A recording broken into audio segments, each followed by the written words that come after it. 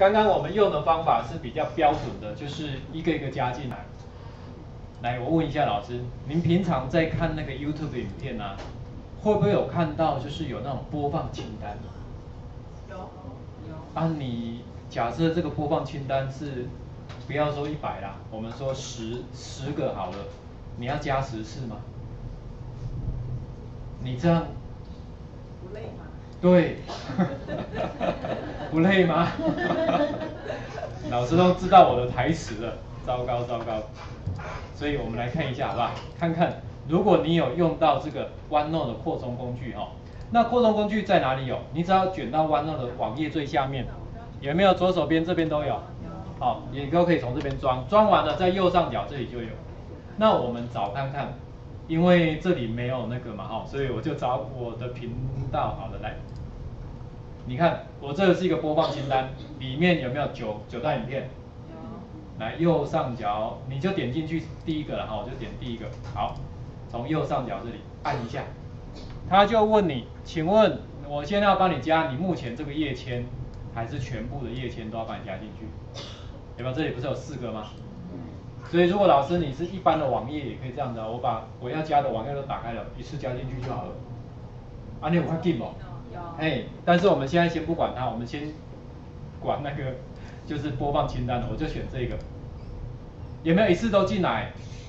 有。预览发布，你看第一个，如果里面有说明一样会进来，然后你就指定好我要放在哪一个课程的哪一个主题，这样了解吗？这样子，如果还不方便的话，我也不知道怎么样才叫方便。好，我弄完了，我们来这里看一下喽。你看我重新整理一下。有没有这样自动一点？所以教材不是自己做的也没关系嘛，我会整理就好了。就跟平常老师有没有常常用我的最爱一样，哎，这个我觉得不错，嗯，可以加进来。我也许是当课程的参考资料，不是主要教材，可是很好用啊，我就把它收集起来。所以平常老师有发现我们用 OneNote 扩充工具有什么好处？你在看教材的时候就同步在怎样？不是在看网页的时候，或者是看影片的时候，就同步在整理教材啊。我们刚刚这不是在看看影片吗？那你觉得，嗯，这个可以当做是我的教材的参考资料，我就怎么样？比如说这个，为什么不送上金星？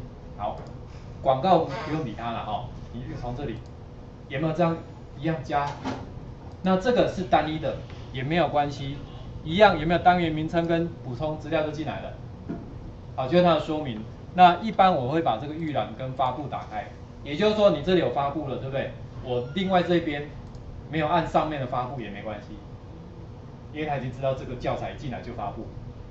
这样有了解吗？所以你看我在这边好储存，这样就进来。所以如果你要做修改也可以，比如说哎我这一段我在加的时候我就发现嗯。这个我把它稍微补充一下说明，说这个教材我们要看的是什么重点，你也可以写在这里啊，这样你就下次就不会忘记了嘛，对不对？好，这个是我们用 OneNote 扩充工具，第一个你可以把影片的部分用这种方式加进去就方便很多。当然要做题目，我们刚刚不是有做题目吗？